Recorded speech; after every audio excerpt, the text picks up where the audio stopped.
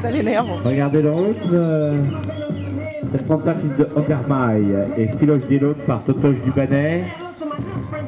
Propriétaire euh, et naisseur Monsieur Pierre Biarkowski en l'Isère. Juliette Baker au départ.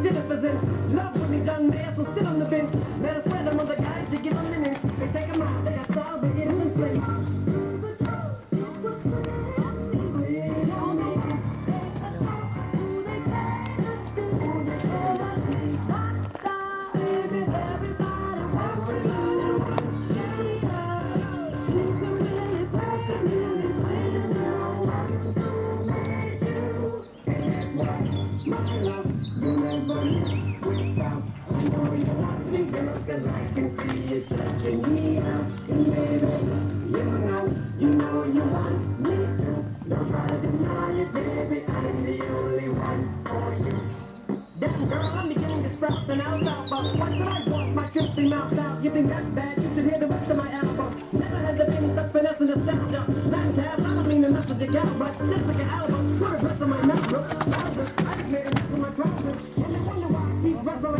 You.